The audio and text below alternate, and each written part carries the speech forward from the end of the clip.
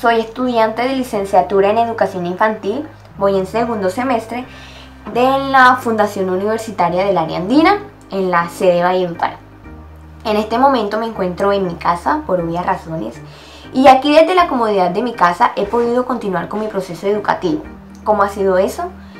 Yo como estudiante venía asistiendo a clases presenciales y de un momento a otro cambiamos a clases virtuales.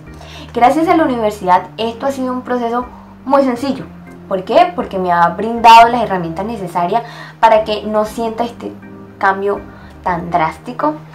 Eh, me ha dado el acompañamiento necesario, tengo la comunicación directa con los maestros, he podido continuar con mi proceso y, he podido continuar con el desarrollo del currículo académico.